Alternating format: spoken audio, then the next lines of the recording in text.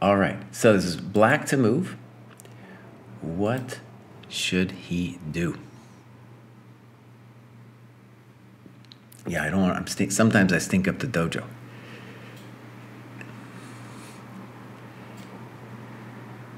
People are talking about rook a8, rook a6. Yeah. Rook a6. First question would just be like, what are you going to do after rook e6? Uh, and then I guess rook a8. I don't. I don't know if I get it. You know, what about just like king c6? Simple problem. If white wins either the f pawn or the b pawn, it's going to be a hard life right? Yeah.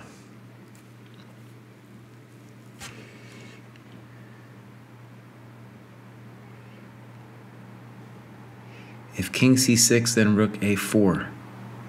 Well, what if you just play uh, king takes pawn, right? Not, it's still not going to be an easy life. All right someone now one of the things let me just say this one of the things that's been a bummer about the us chess school is people have uh, have sometimes been afraid to speak i think Aryan's ready though so i'm going to ask him all right Aryan, what do you got for us So I have this funny idea where you go king h5. Uh huh. So then king c6. Okay, let's try it out. So king h5, king c6. Now rook a4. Okay, yeah. And then if you take the pawn, I play h6. Okay. Okay. Um. Okay, cool. No, I think you basically got it. I'm trying to see if there, there's a slightly different move order that I imagined it with, but I think yours is fine. So I was thinking you'd play, uh, like, honestly, I don't know if I don't think the move order matters right? Like uh, king takes h6, and then you got it. You could play rook a4 first, too, I think. Yeah. You know? Okay, very good. So uh, let me backstep that a second and just show the beauty of that. Very, um, you know, anti-intuitive. And uh, the, the, the, the self-stalemate stuff, it's, as a, when you're told it's a problem, it's a lot of times easier than uh, you know when you're at the board. It's so hard sometimes to imagine. This, by the way, was a variation that Petrosian found from a game he played. He was planning. It was a planned variation uh, in a game he had against Korchnoi, I believe, 1971. Okay, great, Aryan. That was well done. Let's go to the next one. Oh. Oh, jeez, I'm already showing everything. I'm already showing everything. I was this position, okay, it's okay if I showed the first move. The first move might not be right. I spent some time looking at this is very hectic. This is very hectic. This is a game that Andersson, the famous endgame player, played against Larsen in 1975. And I think one of the things I want to stress with this when I say endgame tactics is, you know, there's no firm division in the middle game either between uh, strategy and tactics. But in the end game, more so, I honestly, than in the middle game, it's possible to really do some deep lines, especially with pawn end games, but also in a in a variation like this. So, let's spend a moment here, and um, imagine here is white to play. I'm always putting the person who is to move at the, the bottom. This is Andersson is white against Larsen as black, and Let's imagine this. I think maybe I'm going to try to simplify it, even though maybe you guys have already figured it out. Should white play rook d7 or e5? And let me just say, this is hot. This is a very hot position. There's not, um, there's not a lot of room for error.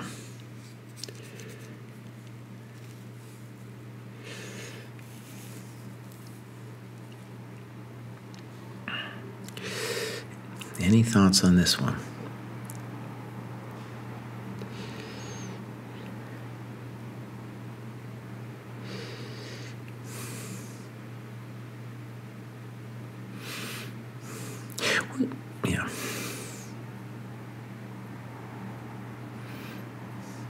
While you guys are thinking about it, one thing that's challenging about positions like this is imagine just being in a game and you get here. It's it's hard. It's gonna be hard to know whether you think you're better or worse or equal here, right? It, it's gonna be hard to know whether you're white or black. Um, definitely, I guess if you're black, you know, imagine this was a King's Indian or a Benoni. You're just terrified that the d6 pawn is going to fall. But likewise, Black's got some runners himself.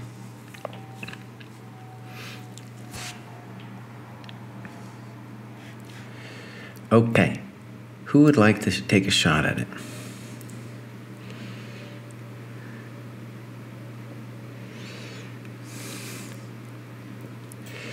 Maybe just calling Rio, man.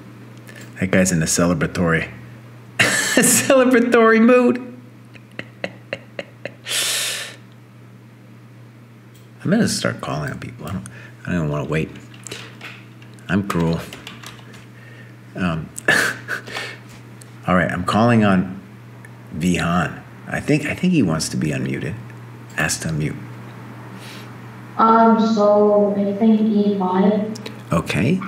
Is after rook D7, they go G4. Uh huh. And then that looks kind of scary Very good. And what's the what's the especially scary thing about it? because H4 and G3 is coming. Right. And I guess what I would say is, oh man, if he gets here, it's already a bad omen, man, because Yeah. it's check. Yeah, that's right. Okay, good. So it's kind of process of elimination, right? All right, let's go. So E5. What do you think Black's best move is?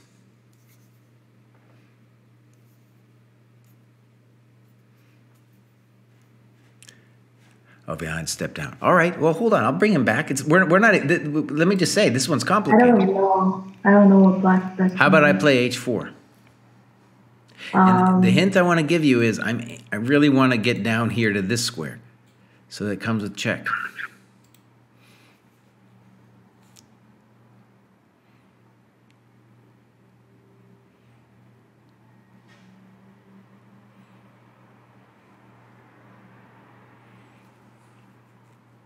I told you this was going to be hot. I told you this is going to be really um, hot. me take. Okay, Let good. Take, let take on D6. All right. So, um, takes, I'm going to say check to the king.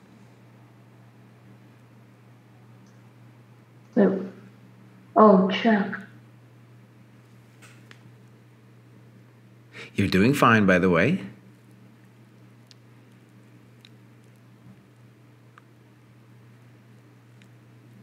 Got to go like king e3, right? Yeah, King e3. Now, I can't, I don't think black can take out. That's a real runner. Yeah. So, boom, boom, boom. Now, you're doing great. Try to find this. This move we could, we could call strategic. Try to find what Andersson played.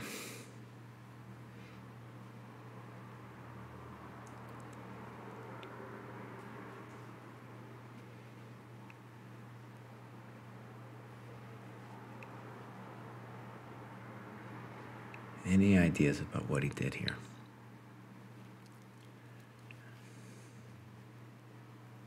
Maybe D7 and then King D4 and King C5 and throw goes to D6. Uh-huh. So let's imagine d7, rook d6, king d4, king f6. King C5. I'm Oh, taking your rook. Yeah, I'm taking your rook.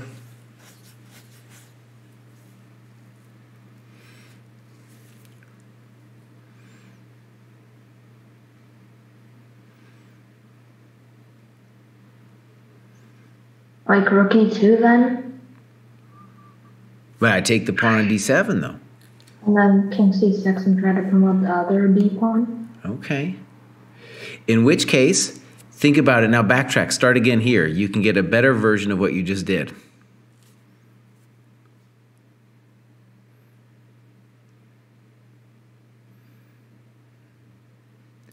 This this next move I would truly consider uh, strategic, even though it's all mathematical at this point, i.e., it's all possible to calculate it out. Maybe like is it like king d4 first? Very good. King d4.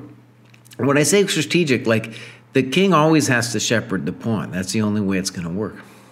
So rook takes, king c5, rook d8, d6. Then I'll show you how the game ended. King f6, king c6. Back. d7, f5, rook e8. How about this? Let's let's give you one more chance.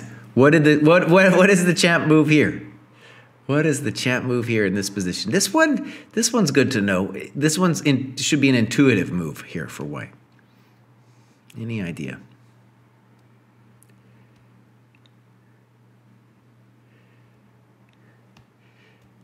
King e6. So, in all these endgames, pawn endgames, but also these ones, you want to shoulder the black king, the opponent's king. f3, rook f8, there's no in for the black king. Rook f4, brutal, and now he resigns. If king g3, we have king f5. Game over. Okay, beautiful. Let's do another one. This one's really intense. I'm going to flip the board. Obviously, black is worse. This is black to move. This is Emanuel Lasker. This is 1910. 1910 against a dude named Schlechter. He's obviously in big trouble. This one's fascinating. Take a moment. What should black play?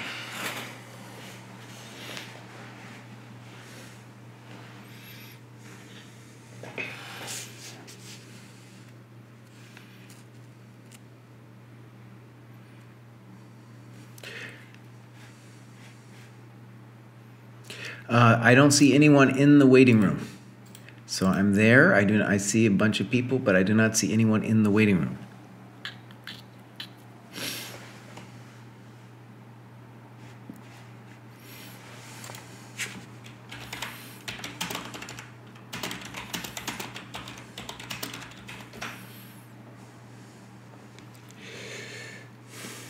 Okay.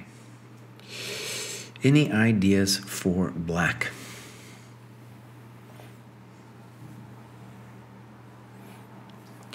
Some people complaining they feel they're bad at endgames. games. I want to say I was terrible at endgames games as a kid. There's something that requires a little bit of practice, and the golden rule is if you have no idea what's going on, just just try to be active. And what would activity mean? Obviously, in an endgame like this, it would be your pawn, let's say your A pawn advancing, uh, your king coming up and doing something. And the king can also be active, let's say, the talk about the black king, uh, from a defensive posture too. And so um, imagine if you're trying to reach a Philidor position, even if you are the defender, activity means being in a blockading position to your opponent's pawn. Okay.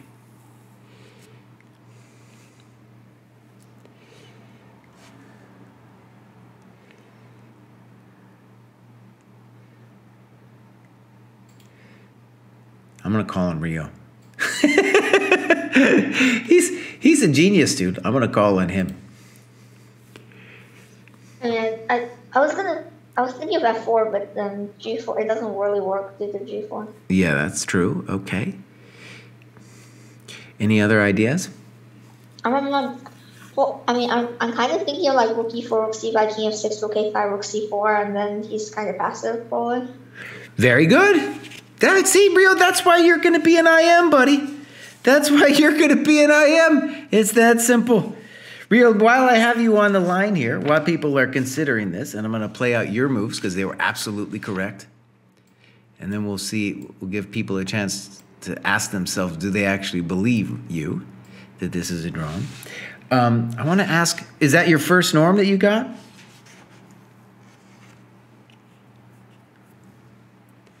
Here, let me let me re-invite him here. Rio, is that the Oh. first norm that you got? Yeah. Yeah. Cool, man. And how old are you now? Um, almost 12. Almost 12. Dang. That's genius. That's genius, man. And do you have what's your next tournament coming up? Um, Southwest. Okay, brilliant. Brilliant.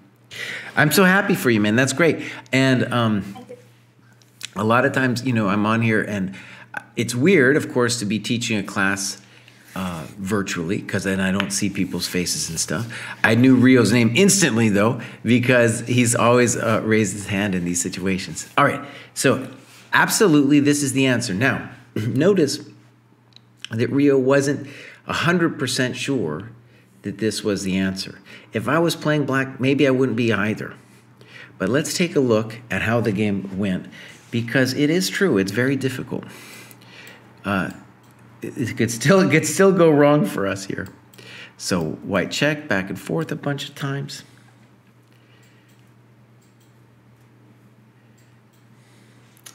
All right, rook a2, check this one out. Rook c3 check. King g2, king e5. Rook b2, king f6. And it's just very difficult to make pro progress. And here's a nice one. He does not play f4 because then uh, rook b3 would happen, right? So uh, simply rook c6. Very difficult. Complete passivity. Complete passivity. So they played a couple more moves, and it was a draw. So one of the things I really like about this endgame is a that the guy found it, but also just the idea that rook activity and king activity can are often worth two pawns. It's very surprising, and especially when you go to let's say the beginning of the problem. That pawn on h4 feels very healthy, right? But healthy pawns need healthy pieces. that could be a shirt. We could do a chess dojo shirt called Healthy Pawns Need Healthy Pieces. All right, beautiful. Let's go on to the next one here.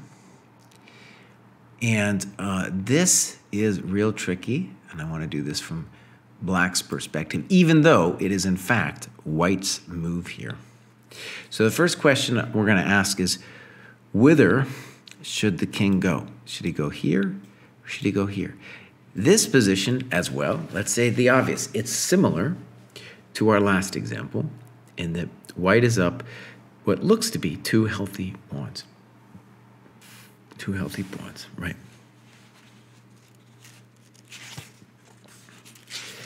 Any ideas here? I would say don't don't guess it right away. People in the chat are guessing king c2 probably. The issue with king c2, let's say it, is that rook d3 is going to happen. And then counterplay is going to start, right? The issue with king e2, pretty clearly, is going to be c3.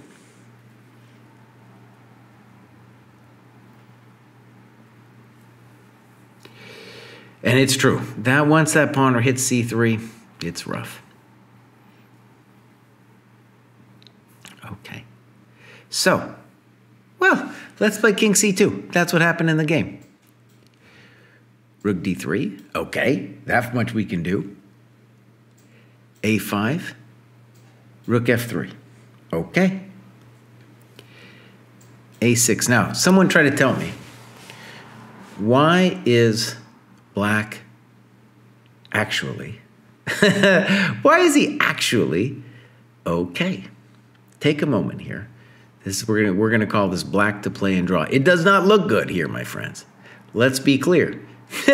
this does not look good for the guy.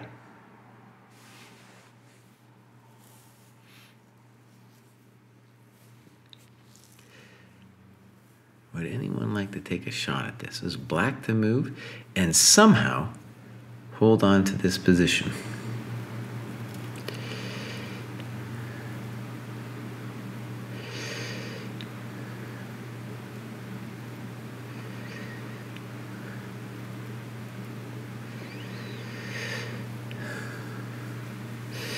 We got uh, somebody saying that king b4 is a draw. Maybe, maybe, maybe also not so simple with Mr. King b4.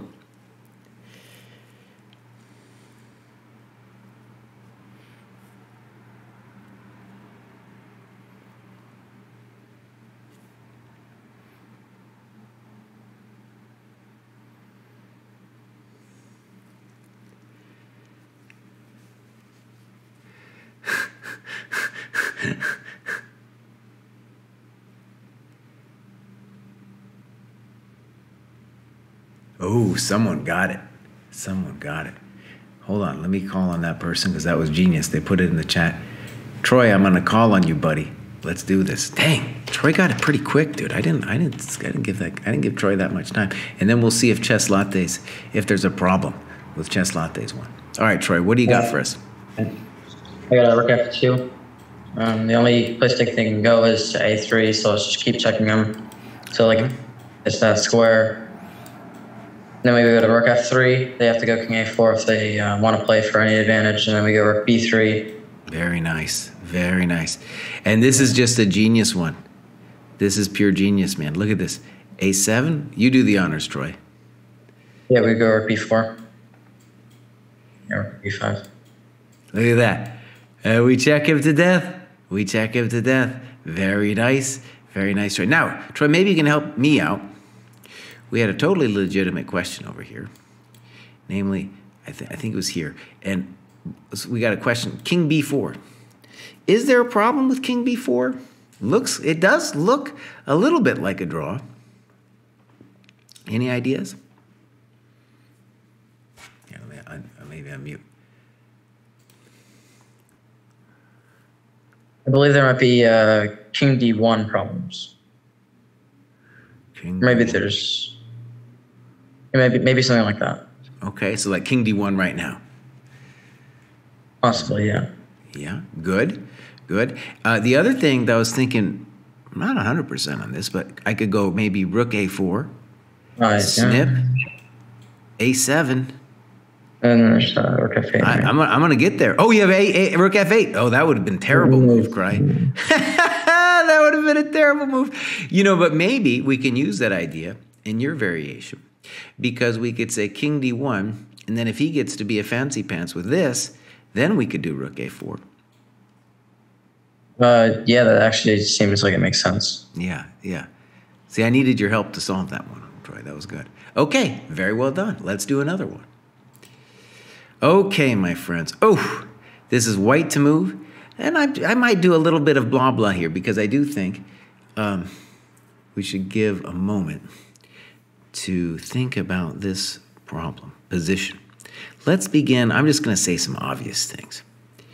Black has black playing this position. You can imagine being in this position yourself. You're saying, "Hey, uh, yeah, I don't have as many pawns as you, buddy, but I got a beautiful rook. It's defending a7. It's attacking a2. I should be fine. Plus, my king. Hey, my king is looking pretty good. White king not looking so hot. So, we need an idea here. Any idea for white in this position?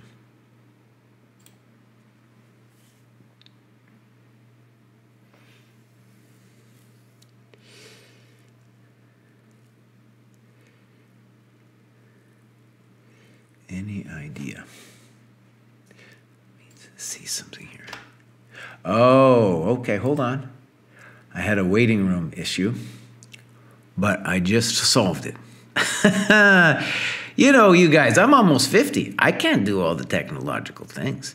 No, especially when I'm multitasking. You know, it's hard. It's hard.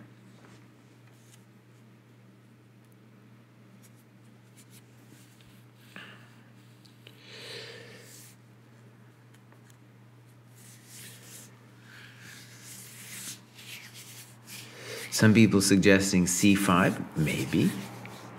Some people saying king h2, maybe. Um, and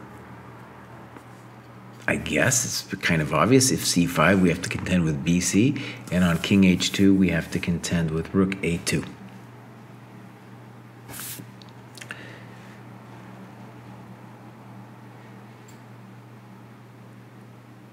Think we're gonna. I'm gonna try to call on Roger here.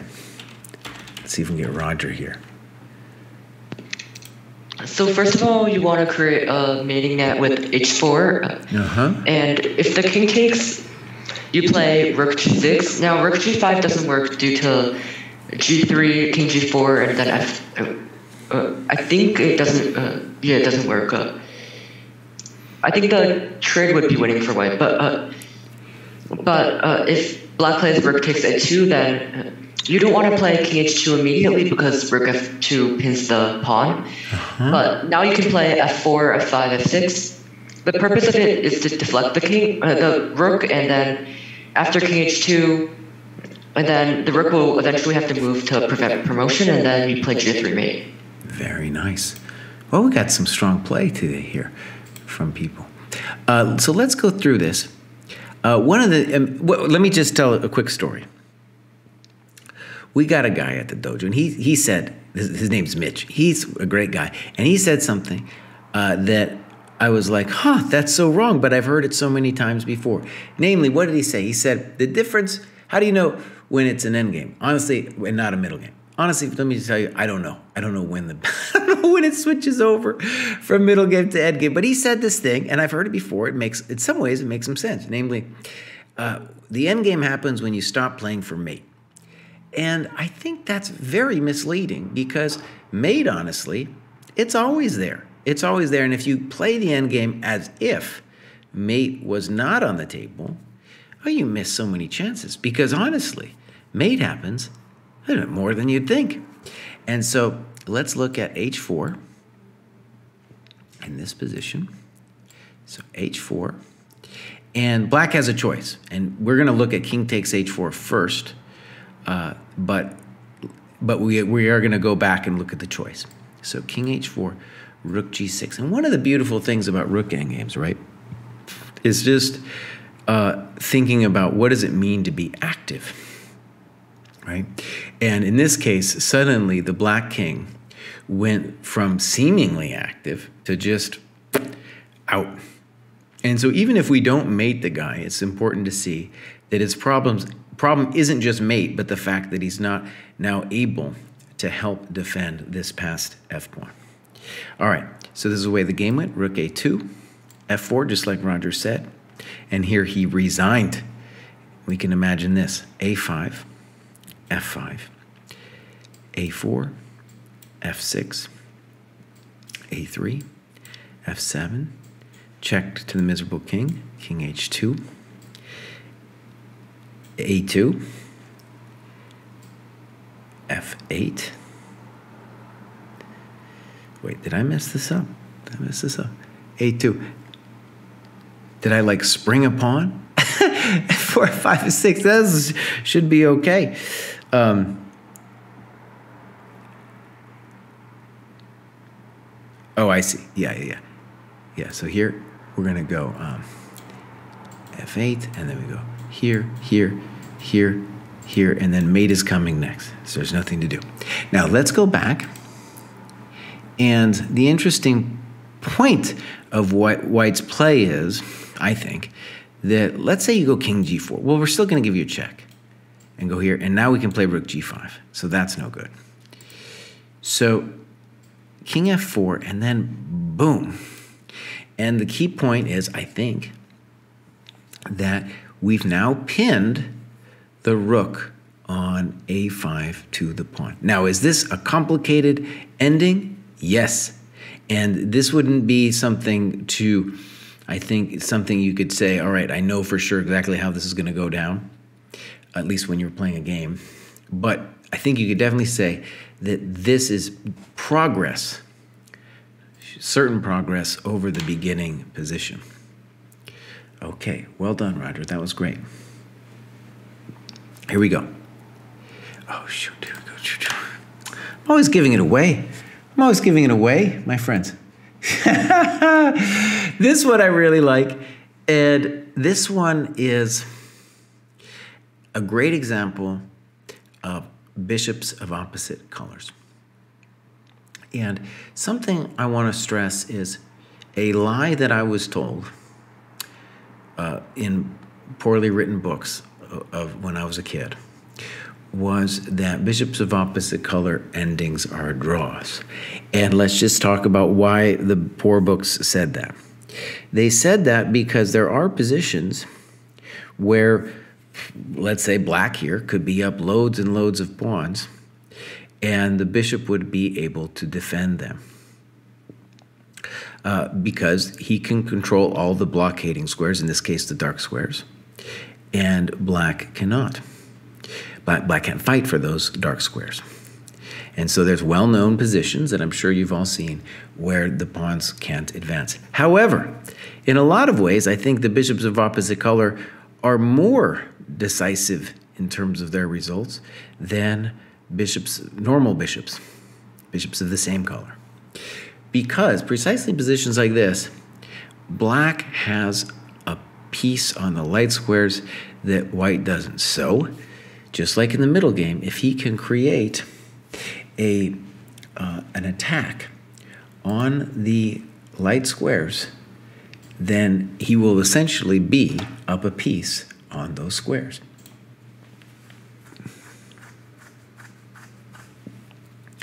Okay.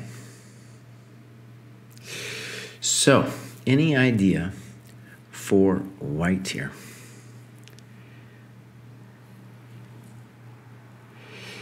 Now, I think we got Eric is talking about a good idea, but we got to think about it. It's rook e2, king g3, bishop e4. Unfortunately, I can just play king h3.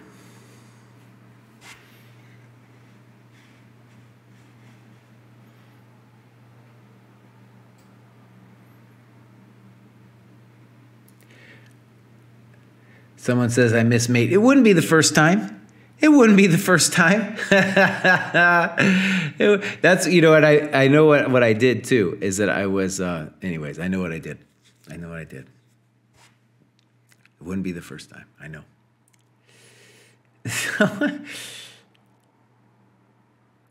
All right. So, given Eric's lapse, we got maybe we'll be able to understand a little bit. So, rookie e2, king h2. People are then saying h2 to it there.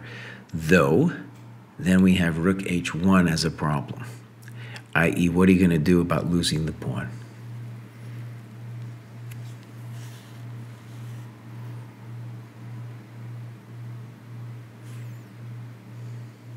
Some people are saying, what about, uh, I think it's king h4 instead of rook e2. King h4, I can play bishop f6, check.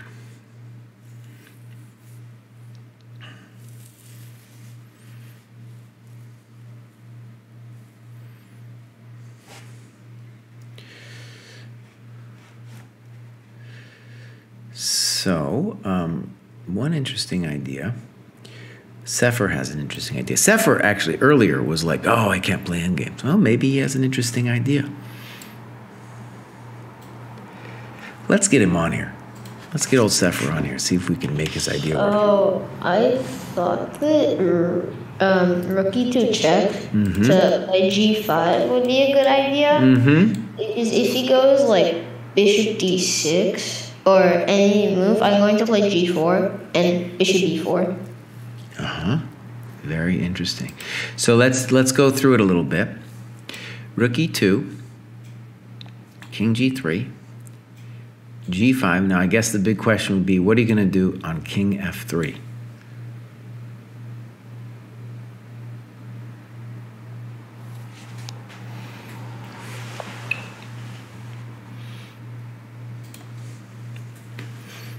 Um, maybe I would play. Uh, can I play?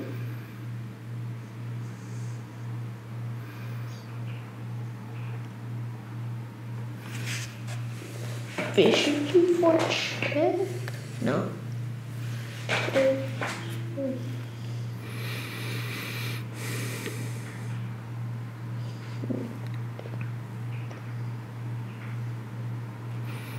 While Sefer's thinking about it, I want to say something that is so fascinating to me about these bishops of opposite color positions. Let's just say the obvious. The bishop on e5 getting blocked by his own pawn is a big deal. It, it hurts him that the pawn is there. Sefer, you got an idea? Don't think it works, but I was thinking about rook g2, but it probably doesn't work Mm-hmm.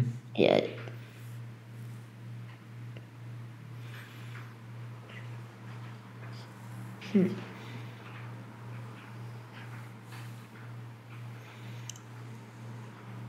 Okay, it's okay. We'll uh, we'll leave it there, and I'll take the, these arrows off. And people, somebody else might come up with an idea. We got, I think it's uh, Troy. Troy, yes, you can talk. Me, I don't know if I need to invite you, but I'm gonna invite you, buddy. Let's move, right? Yeah. All right. So yeah, I was thinking bishop g7. Wait, wait, wait, wait. It's white, but black to move in this position, right? That's black in this position. Okay, never mind.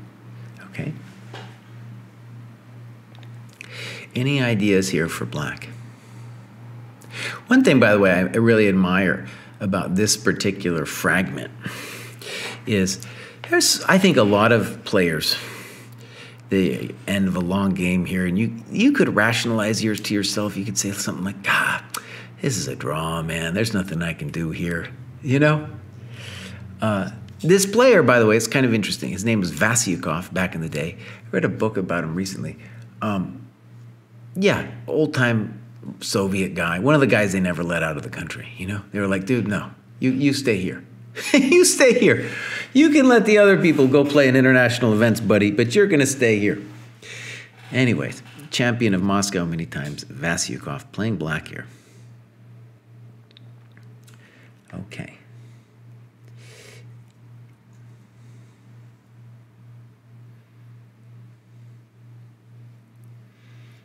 Now, Roger's got an idea. Roger, try to make that. I'm try if, if you feel confident in that, I'm going to call on you. Try to make it as precise as you can.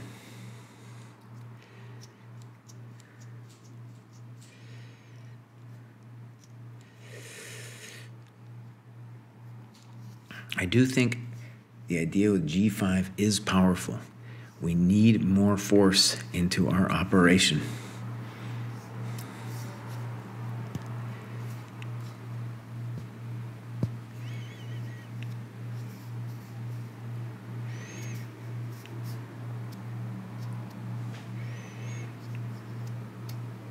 All right, Madison, what's your idea, buddy? You want to come on and tell us what your idea is? Let's do it. I think we have someone in the dojo chat screaming the idea. Someone's got screaming the idea. Um, I was thinking maybe um, rook d2, Uh huh. check, king g3, and g4. G5, yeah. So I think King Oh, F3 is forced, yeah. Then maybe rook, um, I think rook a2. Rook A2. But I'm going to play like uh, FG. And once I play FG, I'm going to guard this guy. Right? I guard that square. And I can sack the bishop even if I have to. Because, you know, bishop and rook versus rook. Draw. Yeah, I think it's just gonna be a draw. I can't really. Okay. Okay. All right, Roger might have idea, and then we got a, na- a dude named Liart, who's got who's got some hectic analysis going on at the dojo. Some hectic analysis. Uh, all right, Roger, are you ready, buddy? You ready to come on? Uh, not exactly, but Uh-huh. I can try. All right, let me go back to the beginning position. All right. So I think uh, rook e2, uh, Uh huh. king Okay. g3, g5, king f3, and I think g4 you can sack the rook. Okay, let's take a look. So G4 takes. Then now I think uh, I'm really not sure, but uh, but I was thinking about uh, going king h4, so that my idea is like h2 and then king h3, bishop e4. So. -huh. And then you also have a g-pawn. so,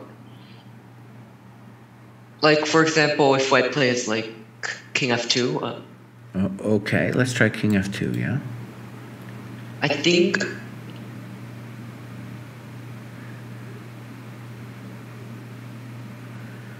It's hot. For, it's definitely hot. yeah, it's, not, it's not easy, but I think.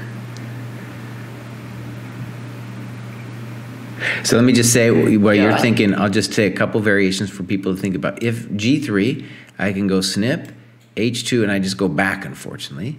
Yeah. And if H2, I, th- I think my first question is going to be can I just go King G2? That's to be my first question. Now, there might be some way for you to nail me. It's true. It's true. Like that bishop is going to show up and hurt me in some way. But my rook hopefully will be able to guard whatever square. Like if you go threaten to go to here, I'll try to guard it. Now, am I certain about that? No, but that it's not easy. Okay. Now, I want to give you, Roger, a chance. Think about it. You're so close. How can you improve your idea here? There's a stunner of a move right here, basically doing your idea.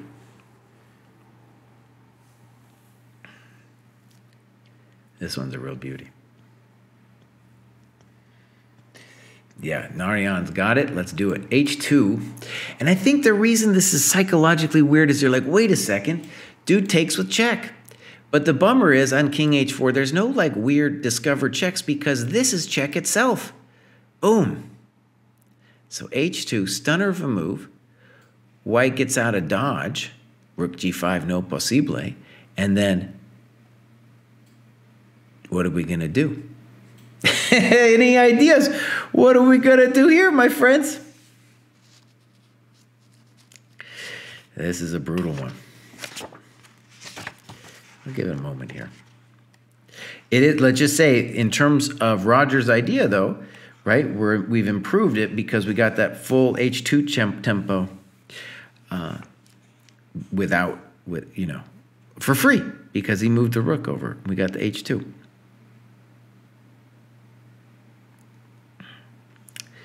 All right. Check to the miserable king. Takes. G3. And if rook h1, we have bishop e4. And here, king f3, we got this one. And it's really fascinating. This happens a lot. They, this bishop is just gone. It's not doing anything. Dude played here. King h3. Oh, man. Totally brutal. Bishop f2. G2. Mm, mm, mm, mm. He resigned. He resigned. I thought that was a great snippet where the bishop, poor dude, just blocked for his own pawn, and also, yeah, he was just was not able to fight for the blockade squares, and it's like we tempted him. We, we tempted. We're like, oh, you have a chance to take g5, but it never worked. It never worked. All right, one more bishops of opposite color. This is the famous Gelfand when he was a kid. I'm assuming close to your age. This is 1980 Gelfand. Let's pause and think about that for a second. This is 2021, 2022, excuse me. Gelfand's still playing. This is 1980. This is 42 years ago. And uh, oh, where's my position, buddy? Ah, oh, cry. It would help. It would help if you had the position. Obviously, I don't have the position. That's embarrassing. Sometimes chess.com, I'll set a position up and then it will steal it from me. But that's okay. I can set this thing up. All right, let's set it up. It's a beautiful thing. Amazing. 42 years this dude has been playing the game. Rook a4. Pawn, I remember most of it, hopefully. Uh, king over here, right? Pieszka. Pieszka. Pieszka. Pawn. Pawn. Rook. This one looks like we'll never win. This one looks like we'll never do it. All right, so it's white to move and win. Narayan says of the last problem, saddest bishop in the world. Indeed, it was a very sad bishop.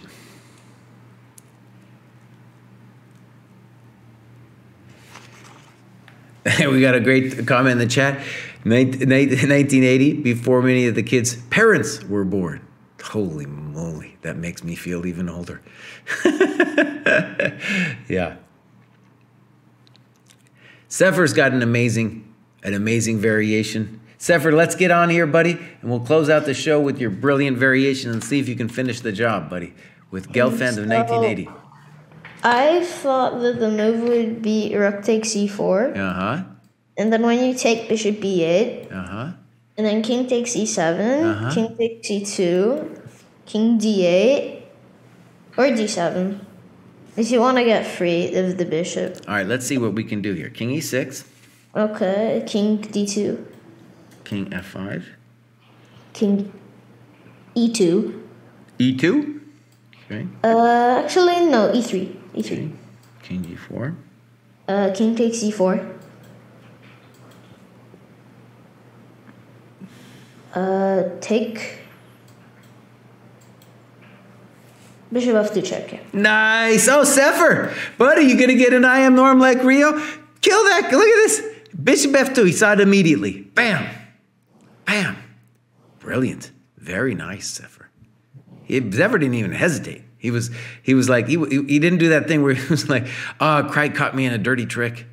Game's over. I must have done something wrong. No, Bishop f2. Bam. Happened immediately. Woo. We got a great quote in chat, my friends. This is one of the better ones. Jesse is so old that his crimes against chess are no longer prosecutable because there's a statute of limitations. That's definitely true. I'm gonna have to put that one out there in the world. That's great. all right, I want to conclude with something. I'll probably continue with this uh, theme of tactical endgames in the next uh, my next USCS. I don't know when that's going to be. Greg Shahade pulls all the strings around here. I don't decide anything.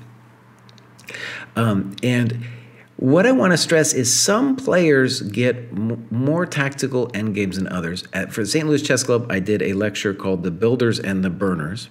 And there are simply people who get positions that are more strategic and slow, and some people that get them more tactical. So it's not just that Fabi is the greatest tactical endgame player, it's that he gets those positions all the time. All the time. I think a great one that he got recently, I mean, he's got so many great tactical endgames, but his uh, latest victory against Firouzja, amazing. Another tactical endgame. Really was some of the hottest some of the hottest positions that you can imagine. And, you know, when you play a really tactical position, you can bet that both sides are going to be making mistakes, as happened also in that game. Um, so, uh, what am I going to say about the builders and the burners? Magnus often gets these little grinding positions, right? Uh, does Fabi get those? Mm, not as much. Not as much, just in the nature of the play. So, for example, if you take somebody who plays Magnus now, let's say a London player, they're going to get more strategic endings. And if you play some wild stuff like the King's Indian, you're going to get the, the wild endgames as well. You're going to get less endgames for sure, but the endgames you do get are going to be more crazy. So we're going to pursue that in the next US chess school class that I do. Maybe look at some of the tactical endgame players. All right, everybody. Congratulations again to Rio. Fantastic result. Uh, I feel like one of the things I want to do with this class is I want to know a lot of the uh, participants more than I do. And hopefully, someday after COVID ends, we'll go back to the old times where we do like camps in person and I'll actually get to meet some of y'all and put, you know, faces to names. All right, everybody. That was great. And uh, I will see you next time. Bye bye.